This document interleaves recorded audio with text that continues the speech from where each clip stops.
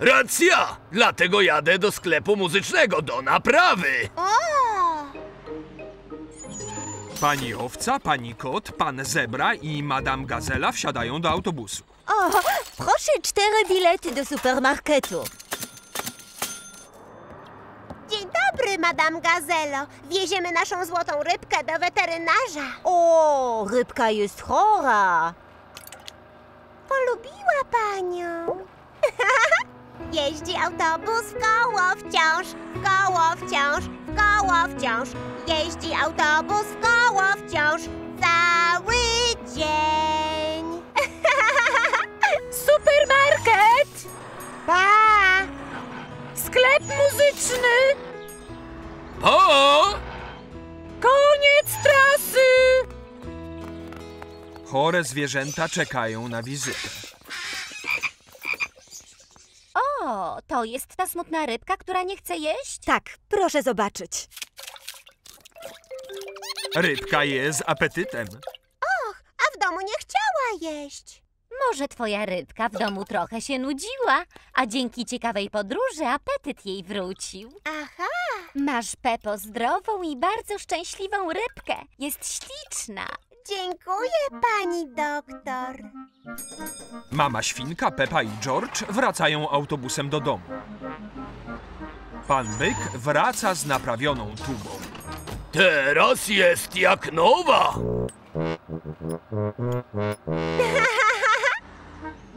Madame Gazela i jej znajomi wracają z zakupami.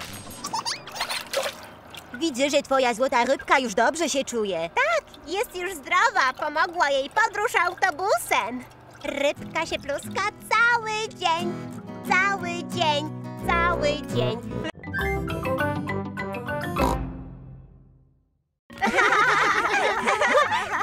Rebeka Królik, Zoe Zebra, Suzy Owca i Pepa skaczą na skakankach. Lubię morze, lubię piach. Lubię skakać Suzy wraz. Lubię ping, lubię pong, lubię Zoe skakać wciąż. Już wiem, zrobimy zawody, która z nas będzie najdłużej skakać. Dobrze. Raz, dwa, trzy, cztery, pięć, sześć, siedem, osiem, dziewięć. Wygrała Zoe! Hurra! Hurra! Hurra! Pedro, poskaczesz z nami na skakance? Dziękuję, Pepo. Ja wolę hula hop. Kręć się kółko, kręć się kółko. Kręcimy się i my. Kręć się kółko, kręć się kółko. Raz, dwa, trzy. Ile razy potrafisz zakręcić kółkiem? Milion i trzy. Jej, to dużo. Będziemy liczyć. Raz, dwa, trzy, cztery, pięć, sześć, siedem, osiem. Tylko osiem. Jestem trochę zmęczony. Później się będę z wami bawił. Ile razy się zakręcisz, Emily? Ja mam specjalny sposób kręcenia. Emily Słoń kręci hula hop na trąbie. Hurra! Myślę, że zrobiłaś chyba ze sto obrotów. George chce się bawić w skaczącą żabkę. George lubi skakać jak żabka. Wszyscy poskaczemy jak żabki.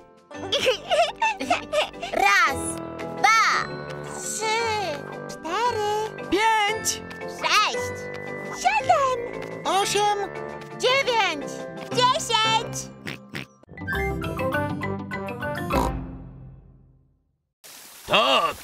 Jesteśmy po to, żeby to naprawić. Długo to potrwa? Dopóki nie uda się usunąć awarii.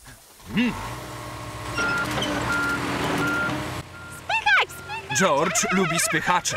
Tędy, panie nosorożcu! Tak jest, szefie.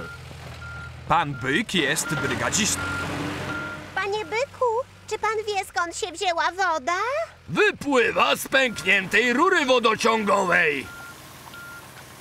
Jak to naprawicie? Musimy rozkopać drogę! Jej! Trzeba zakręcić zawór! George uwielbia dźwigi. Dźwig, dźwig! Usuniemy uszkodzoną rurę i zamontujemy nową. Dziękujemy za szybkie usunięcie awarii. Mu, nie ma sprawy. Pa! Do widzenia! Ojej, George chciałby zostać z panem Bykiem. Płacz, zaraz będziemy na placu zabaw.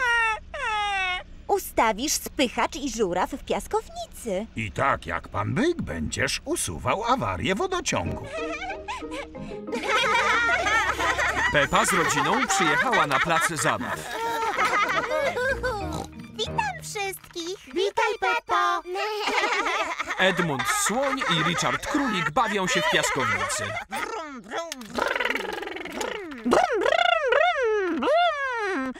Pobawimy się w piaskownicy? Dobrze. Stop. Co się stało? Naprawiamy awarię wodociągu. Ja jestem brygadzistą. O!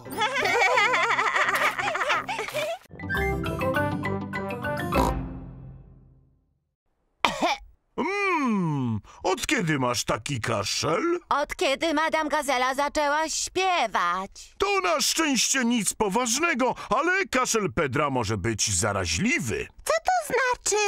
Zaraźliwy? Gdy jedna osoba kaszle, to inne też mogą zacząć kaszleć. Czy muszę wziąć leki? Tylko maleńką łyżeczkę. Niestety nie jest zbyt smaczna. Eee, to smakuje jak stary kapeć z dżemem. Dziękujemy, doktorze Misiu. Do widzenia! Mm, tak myślałem. Kaszel Pedra jest zaraźliwy. Dany pies i Suzy owca zarazili się kaszlem Pedra. Otwórz buzię. Smakuje jak dywan namoczony w owocowym jogurcie. Smakuje jak zielsko. Brawo! Wypiliście dzielnie lekarstwo. Czy pan też czasem choruje, doktorze Misiu? Nie, Pepo, nigdy nie choruję, bo codziennie zjadam jedno jabłko. Do widzenia. Nadeszła pora, gdy rodzice odbierają dzieci z przedszkola. Mamo, tato, mam kaszel. Doktor Bury Miś przyszedł, żeby nas leczyć. Dał nam bardzo niesmaczne lekarstwo. Madame Gazelo, może teraz zaśpiewamy? Oczywiście, Pepo. Uuu, Joasia chorowała.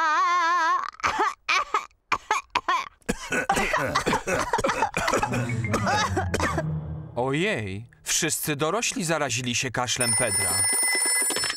Tu doktor Burymiś, słucham. Tu świnka Pepa. Wszyscy dorośli zachorowali. Nic się nie martw, Peppo, już jadę. Ale tata świnka zapomniał oddać książkę. Tak, trzymałem ją bardzo, bardzo długo. No trudno, oddasz ją jutro. A teraz pora spać. Kiedy tata przeczyta tę bajeczkę? To nie jest bajeczka, Peppo. Proszę, przeczytaj, tatusiu. No dobrze. Fantastyczny świat betonu.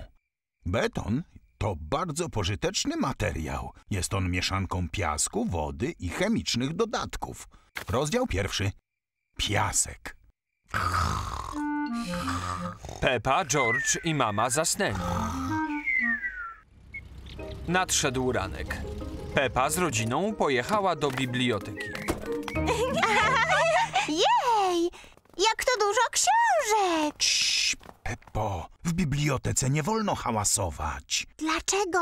Tu wszyscy przychodzą poczytać i nie wolno im przeszkadzać. Kto następny?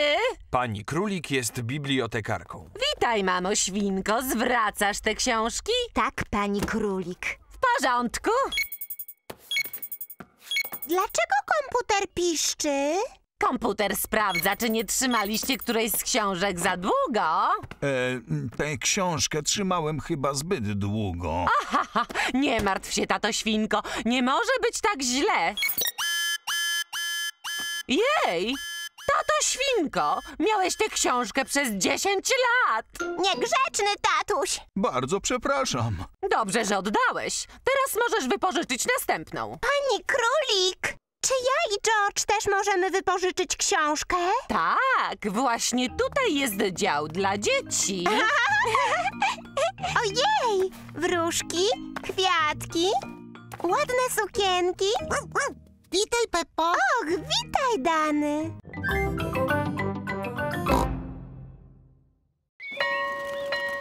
Nadszedł dzień biegów. Madame Gazela pokazuje, jaką trasę powinien przebiec tata świnka.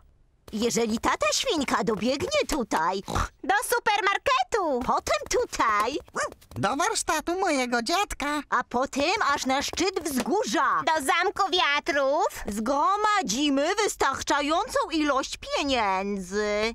No to zaraz to zrobię. Do biegu, gotowy, start! Meta! Możemy iść na piknik. Głuptas, tatuś! To tylko rysunek! Tak, teraz musisz dobiec do prawdziwego zamku wiatrów. Do biegu gotowy, start!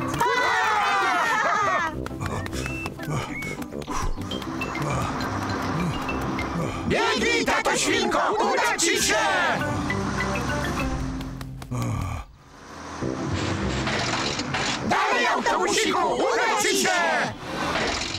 Wycieczkowy autobus dojechał do Zamku Wiatrów. Teraz wszyscy mogą cieszyć się piknikiem. Wody! Wody! Jaki piękny, ciepły dzień. Odpoczywamy, a jednocześnie zarabiamy pieniądze. Wody! Wody! Tata świnka dobiegł do supermarketu. Jest zmęczony i bardzo chce mu się pić. Popatrzmy przez teleskop. Chyba widzę tatusia! Teleskop sprawia, że wszystko doskonale widać. Oj, nie biegnie zbyt szybko! Tata świnka dotarł do warsztatu dziadka psa. O, to tyle. Nie pobiegnę dalej. Tata się zatrzymał! Ojej! Chyba ci gorąco! Potrzebujesz czegoś, co cię ochłodzi i doda energii? Weź lodowego lizaka! Bardzo dziękuję, dziadku psie.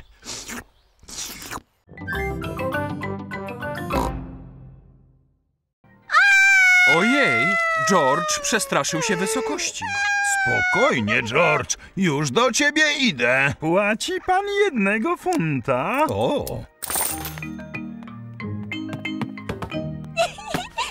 George przestał się bać i zjeżdża ze spirali. o, nie sądziłem, że to tak wysoko. Chyba zejdę schodami. Na schodach jest dużo dzieci. Musisz zjechać, tato świnko. Och, dobrze. Oj, o, o. Chodźcie, chodźcie! Kto trafi w środek tarczy, wygra misia giganta! Strzelaj, mamusiu, to łatwe! Chcesz jeszcze jednego misia olbrzyma, Pepo? Nic z tego, nie wygra pani. Kobiety kiepsko strzelają. Przepraszam, co pan mówi? Strzelanie jest trudne. Ile kosztuje bilet? Funta? Mama świnka wygrała. Niesamowite, proszę, oto nagroda. Też chciałabym mieć misia olbrzyma, mamo. Jest za duży. Wcale nie! George i tata świnka jeżdżą na diabelskim młynie. Ruszamy! Och, tu jest naprawdę wysoko. Oj. Uf, cieszę się, że to koniec. Pięć pełnych okrążeń za jednego funta. Pięć okrążeń? O nie! Oj!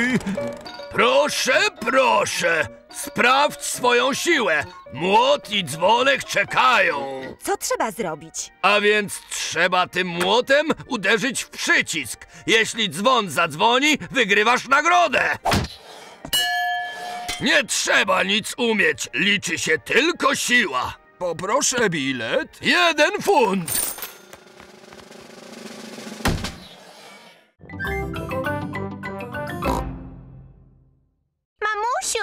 Zachlapaliśmy błotem piłkarską koszulkę taty.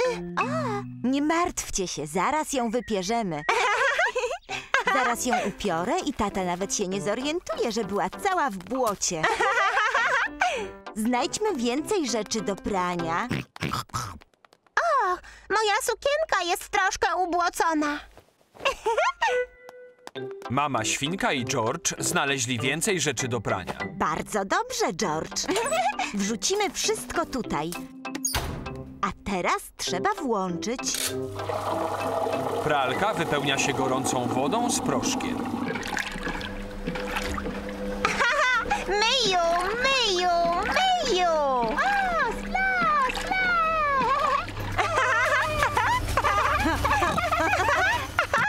Pralka sprawia, że całe pomieszczenie się trzęsie. O, Peppo! Gdzie twoja sukienka? Wrzuciłam ją do pralki. Co? Nie. Zobacz, mamusiu, moja czerwona sukienka jest teraz czyściutka. Tak, Peppo. Ale zobacz, co się stało z resztą prania. Ojej, czerwona sukienka Pepy zafarbowała wszystkie białe ubrania na różowo. Różowy to nie jest dobry kolor na koszulkę piłkarską. O! Tata świnka wrócił z pracy do domu. Witam wszystkich. Witaj, tatusiu. E, e, tato świnko, mamy mały problem i... Później, mamo świnko. Muszę teraz biec na mecz. Gdzie jest moja koszulka? Tutaj.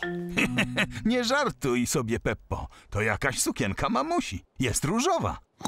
Nie, tatusiu, to twoja koszulka piłkarska. Trochę się zachlapała błotem. Dlatego wypraliśmy ją. No i wszystko się zafarbowało.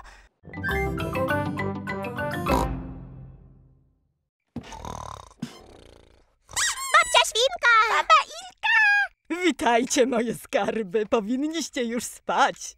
Opowiedz nam bajkę. Y, Dobrze, ale pod warunkiem, że zaraz potem pójdziecie spać. Pójdziemy spać zaraz po bajce. Zgoda. Dawno, dawno temu był sobie. Mały chłopiec, który nazywał się Pedro Kucyk i znalazł magiczną fasolę. O tak, mały Pedro posadził ziarnko fasoli. Ziarenko bardzo szybko wykiełkowało i wyrosła z niego ogromna łodyga. Tak było! Mały Pedro wspiął się po łodydze fasoli i znalazł... Mnóstwo różnych rzeczy. Nie chcę tej bajki. Opowiedz o księżniczce. O tak, opowiem ci o pięknej księżniczce Pepie i Sir George'u. I o kucharzu, który robi najsmaczniejsze torty. Mama, tata i dziadek świnka wciąż czekają na kolację. Zobaczę, co zatrzymało babcię świnkę. Chcę jeszcze jedną bajkę. Niegrzeczna babcia świnka, miałaś ich nie budzić. Obiecuję, że uśniemy, jeżeli dziadek świnka dokończy bajeczkę. Znam świetne zakończenie bajki, babciu świnko. Możesz zejść na dół, a ja zaraz przyjdę. Jest chłopiec z łodygą fasoli, piękna księżniczka, odważny rycerz i kucharz, który robi pyszne jedzenie. Tak, po zjedzeniu pysznej kolacji wszyscy poszli spać i koniec. Ale szybko wstali, bo zjawił się czarodziej. Czarodziej? Tak, czarodziej! I dał wielkie przedstawienie magicznych sztuczek. A, no i Potem zjawił się okropny smok.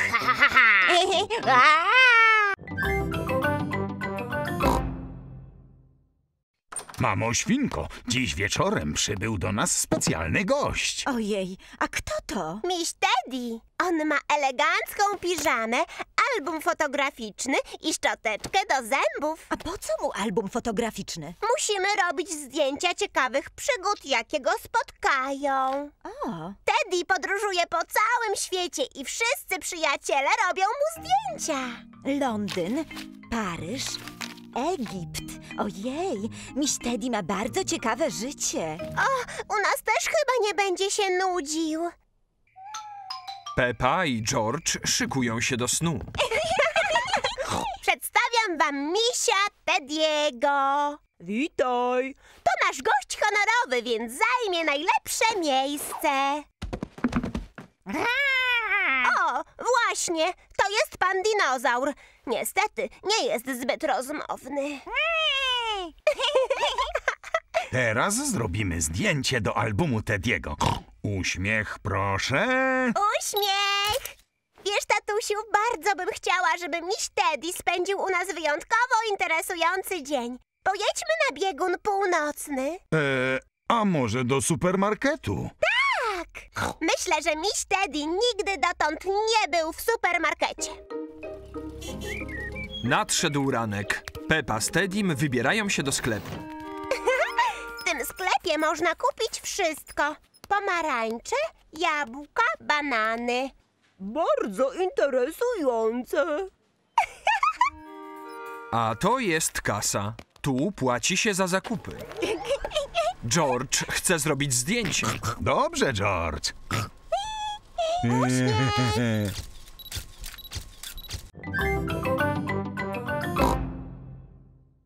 Pierwszym klientem jest dany pies. Witajcie, drogie panie. Witaj, panie psie! Chciałbym kupić paczkę herbatników. Suzy, mamy herbatniki? Nie, ale mamy zabawkę telefon. A ile kosztuje telefon? Za telefon płaci pan 100 funtów. Dziękuję. Kto następny? Ja! Dzień dobry, Pepo. Czy dostanę świeże pieczywa? Nie, ale może pan kupić zabawkę domek. Czy życzy pan sobie torebkę na zakupy? Tak, poproszę. Bardzo proszę, płaci pan jednego funta. Ojej, niestety nie mam tyle pieniędzy. To nic, zapłaci pan następnym razem. Och, ależ to ciężka praca. Tak. Dzień dobry paniom. Co mogę u was kupić za tysiąc milionów funtów? Suzy, czy mamy coś, co kosztuje tysiąc milionów funtów? He? Marchewkę? Tak, poproszę. Rebeka Królik lubi marchewki. Pora wracać do domu. Tata Świnka przyszedł odebrać Pepę i Suzy. Czy miałeś pracowity dzień, tatusiu? Tak, cały dzień ciężko pracowałem. My też pracowałyśmy bardzo ciężko. Byłyśmy ekspedientkami. Bla, bla, bla, bla, bla, bla, bla. Koniec. I drukuj. Mama Świnka skończyła pracę. Dobrze, George. Teraz już możemy zagrać w szczęśliwą panią kurkę. Zasłużyliśmy na to.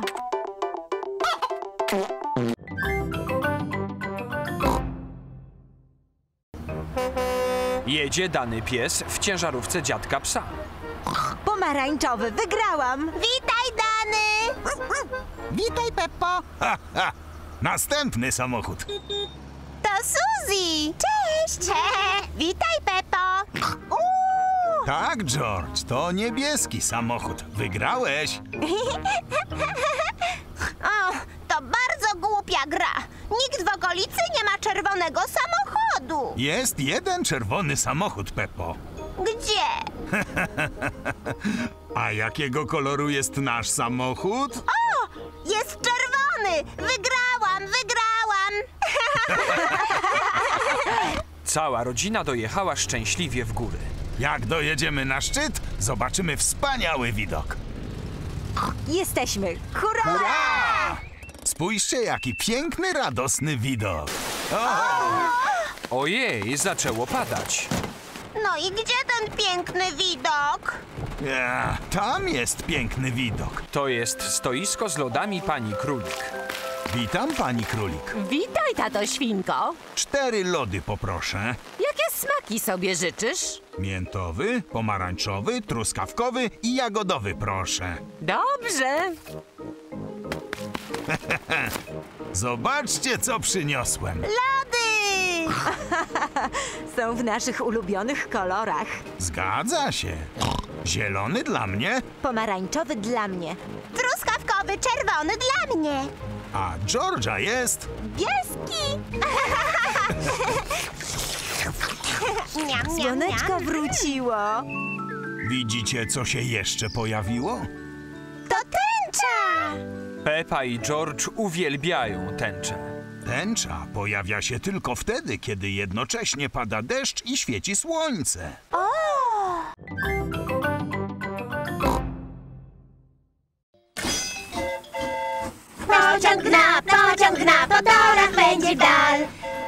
jest podróż ta, wysiadać będzie nam żal. To są wasze zeszyty ćwiczeń. Dzieci muszą zaznaczyć, co zobaczyły w czasie podróży. Żaglówka, semafor. I tunel. Ja widzę drzewa. Drzew nie ma na liście. O, nie. Ja widzę chmury. Czy chmury są na liście? Nie. Ja widzę dziadka psa. Ahoj tam! Witaj, dziadku psie! Czy dziadek pies jest na liście? Coś ty, Pepo. W naszym ćwiczeniu nie ma mojego dziadka. Twój dziadek płynie żaglówką. A żaglówka jest na liście. Hurra! Dzieci zaznaczają łódź na swoich listach. Bilety proszę! Pan Królik ponownie sprawdza bilety. A, chyba znowu zgubiłem bilet. O, coś takiego. Miau, tu leży bilet Pedra. Zostawił go na siedzeniu. Musisz bardziej dbać o swój bilet, Pedro. Pociąg zwolnił, bo wjeżdża pod górę. A teraz szybko zjeżdża w dół. Madame Gazelo, jest mi trochę niedobrze. Czy mogę pójść naprzód pociągu? Dobrze, Pedro, możesz przyjść naprzód pociągu. Dum, dum, dum, dum, da, da. Hej, witaj, Pedro. Chyba źle się czujesz. Czy chciałbyś kierować pociągiem? Tak, bardzo.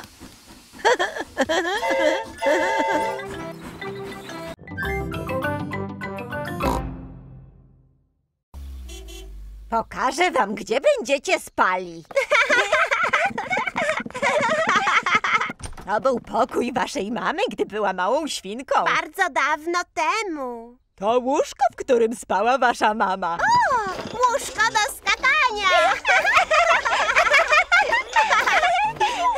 Robicie to, co wasza mama, gdy była mała. Czy mama też skakała po łóżku? Oczywiście. A teraz mama krzyczy na nas, gdy skaczemy po łóżku. Wszystkie mamy, gdy są małe, zachowują się tak jak ty. Ty też? Haha, tak. Idźcie teraz do ogrodu zobaczyć, co robi dziadek.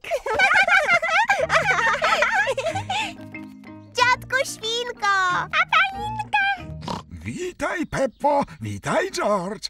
Czy chcecie zobaczyć moje marchewki? Dziadek Świnka jest bardzo dumny ze swoich warzyw. A tutaj posadziłem fasolę.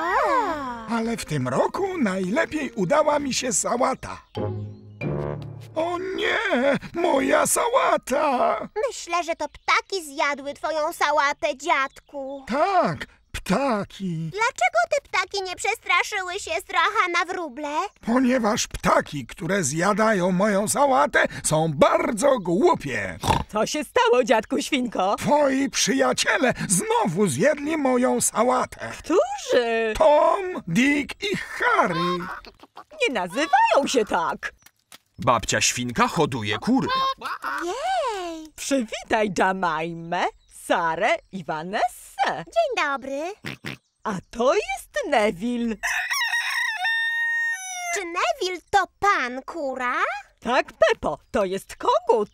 On jest najgorszy. Rozgrzebuje wszystkie grządki. Neville poluje na muchy. Widziałem, zjada muchy.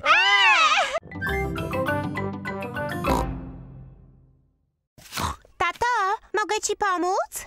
Dziękuję, Peppo. Możesz wyrzucić wszystkie resztki warzyw. Dobrze. Stój, Pepo. Nie wrzucaj tych resztek do zwykłego kosza. Resztki warzyw wrzuca się do brązowego. O! Masz rację, George. Tu się wrzuca skórki po bananach, łupinki cebuli, resztki marchewki i różne inne odpadki z warzyw. Babcia i dziadek będą zadowoleni. Czy babcia i dziadek zjadają łupiny ziemniaków i inne resztki warzyw? Nie, Peppo. To jest do ogródka dziadka. Dzięki temu rośliny lepiej rosną. O!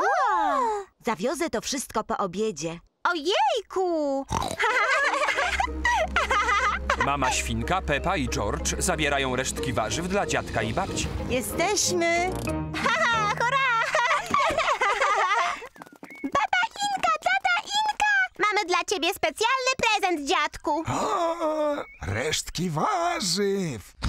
Fantastycznie. Idealne do ogródka. Czy twój ogródek zjada warzywa? Nie, Peppo. Z tych resztek warzyw powstanie wspaniały kompost. A co to? Pokażę ci. Chodź ze mną. To drewniana skrzynia. Tak, droga Peppo, ale to bardzo sprytna drewniana skrzynka.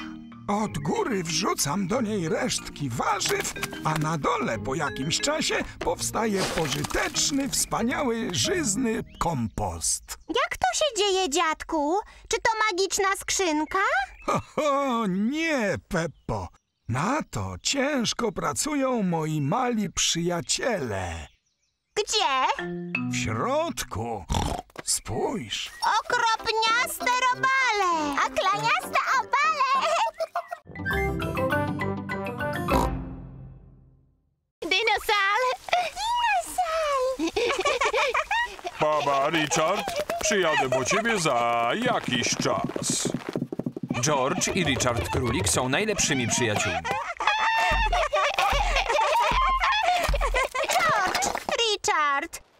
Zburzyliście mój domek z klocków. Proszę, pobawcie się w coś nieskaczącego.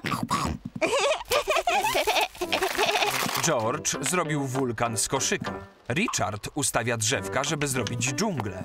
George układa klocki, żeby były rzeką.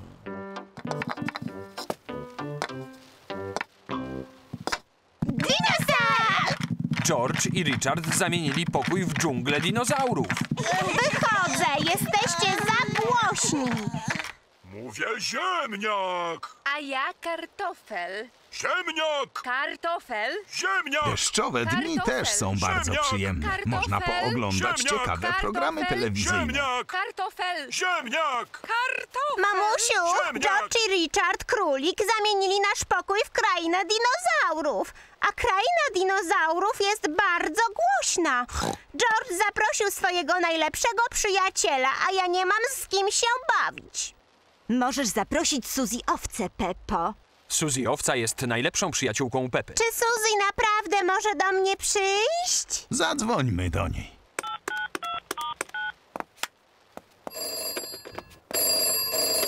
Me. Dzień dobry, mówi Suzy Owca. Suzy, to ja. Czy mogłabyś do mnie teraz przyjść? Tak, Pepo. Mogę założyć mój strój pielęgniarki? Tak, ale przyjdź szybko. Czy wszyscy gotowi do wyjazdu na wakacje? Tak, mamo świnko. No to w drogę! Jedziemy na wakacje, tatuś wiezie nas. Hmm, ta mapa jest troszkę niejasna. Tato, chyba się nie zgubimy. Nie martw się, Peppo. Jestem ekspertem w czytaniu map. O, to trochę dziwne. Zgubiliśmy się? Ym, tak. Nadjechał dany pies z dziadkiem. Witaj, Peppo. Witaj, Dany. Zgubiliśmy się. Jak to? Nawigacja nie działa? Nawigacja? Prowadzisz bardzo nowoczesny samochód, który ma wiele udogodnień. Nawigację włącza się tutaj. O! Witajcie w samochodzie przyszłości. A, to to uruchamiamy tym przyciskiem. Gdzie dzisiaj jedziemy? Auto kempingowe mówi. Sprytne, prawda? Nawigacja pomoże wam znaleźć drogę. A skąd będzie wiedziała, dokąd chcemy jechać? Powiecie jej. O, witaj, samochodzie kempingowy. Witaj. Jedziemy na wakacje. Powiesz nam, jak jechać? Kontynuujcie jazdę prosto tą drogą. Dziękujemy za pomoc, dziadku psie. Nie ma za co! Udanych wakacji! Jedziemy na wakacje, tata wiezie nas. Niebezpieczeństwo. Uwaga, niski poziom oleju. Co to jest olej? Olej sprawia, że silnik dobrze pracuje. Czy olej nam się zaraz skończy? Nie, takie komunikaty pojawiają się dużo wcześniej. Brak oleju. Ojejku.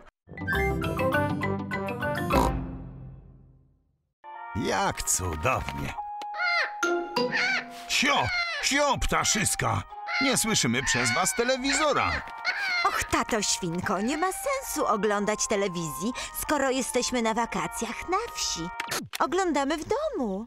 E, e, masz rację, mamo świnko. Tu jest mnóstwo ciekawych miejsc do obejrzenia. Na przykład świat drzew. Co to jest świat drzew? Świat drzew to ogromny las pełen drzew. To chyba nie jest ciekawe. I jest też ziemniaczane miasto. Co się robi w ziemniaczanym mieście? Zwiedzanie zaczyna się wycieczką po plantacji, a kończy degustacją potraw. Brzmi ciekawie. Jest jeszcze Kacza Dolina. A co to takiego? To jest dolina rzeki, gdzie mieszka mnóstwo kaczek. Kaczki! Jedźmy do Kaczej Doliny! Pepa i George uwielbiają kaczki. Jak znajdziemy Kaczą Dolinę? Samochód powie, jak jechać. Witam. Gdzie dziś jedziemy? Do Doliny Kaczek, proszę. Jedźcie prosto przed siebie. Dolina kaczek, naszej drogi cel. Witajcie w krainie kaczek. Ile chcecie biletów? Dwa normalne i dwa ulgowe. Miłej zabawy! A gdzie są kaczki? Może pojechały na wakacje. Myślę, że trzeba zjeść drugie śniadanie. Kaczki zawsze się zjawiają, kiedy... Kiedy rozpoczynamy piknik. Pepa i George uwielbiają pikniki.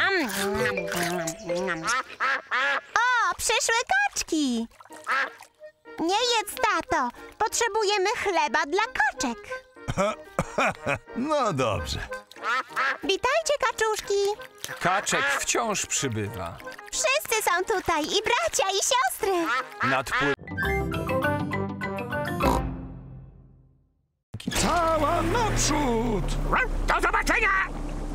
Jestem kapitanem tego statku i kiedy wydaję rozkaz, musicie go bezwarunkowo wykonać. Tak jest, kapitanie. Tak jest, kapitanie?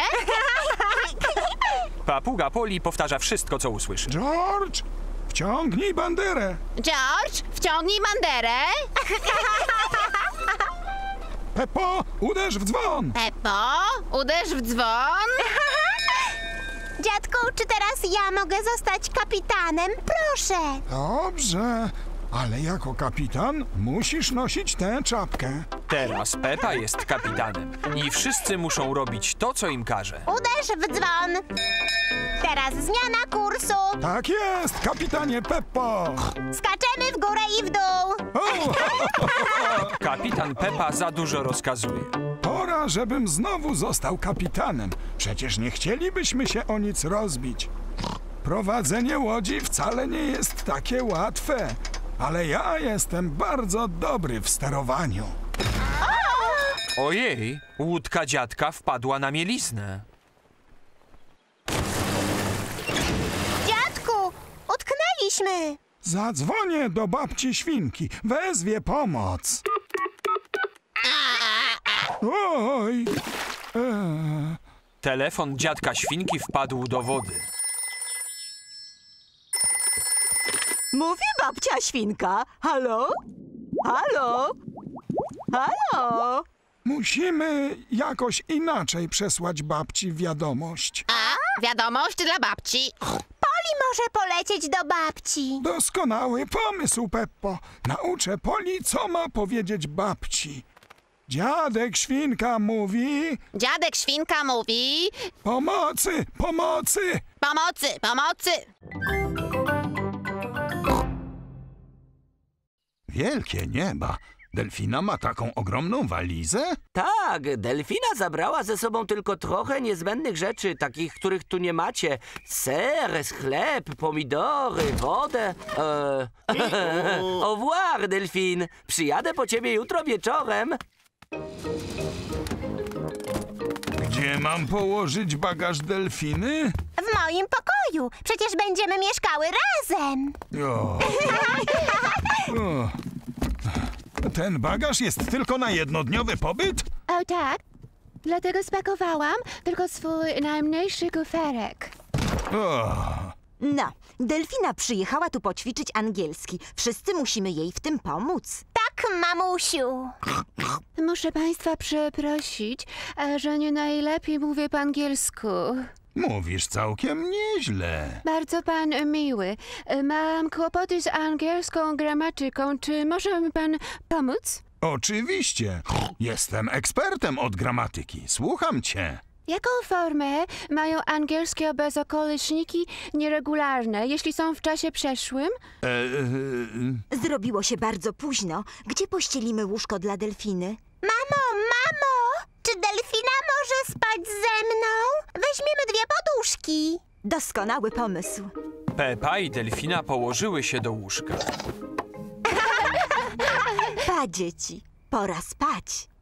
Jutro będzie męczący dzień. Delfina pójdzie z tobą do przedszkola. Jej! Dorme bien.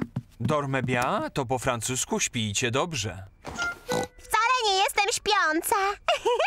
Zaśpiewajmy sobie jakąś kołysankę do snu, Peppo. Tak! Frère Jacques, frère Jacques, dormez-vous, dormez-vous.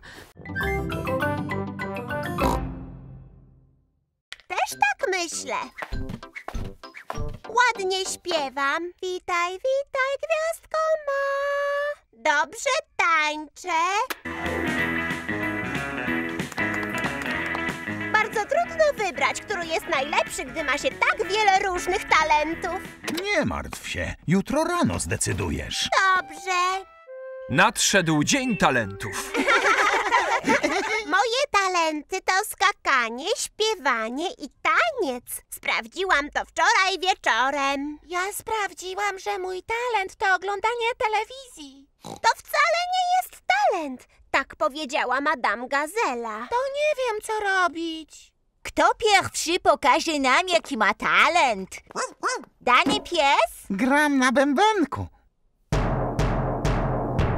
Umiem jeszcze głośniej. Nie, dziękujemy ci, Dany. Pedro Kucyk, jaki ty masz talent? Sztuczki magiczne. Oto szklanka pełna wody. To jest najprawdziwsza woda. Teraz sprawię, że calutka woda ze szklanki zniknie. Proszę zamknąć oczy. Otwórzcie oczy. O! O, woda zniknęła. Dziękuję.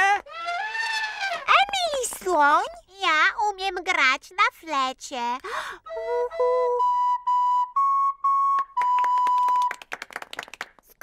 A jaki ty masz talent, Rebeko? Umiem wydawać różne dźwięki. Drrrr. Najlepiej mi to wychodzi, jeśli staję na palcach. Drrrr. To wielki talent. Tak, ale co ja mam zrobić? Candy, jaki ty masz talent? Skakanie. Ja chciałam pokazać skakanie.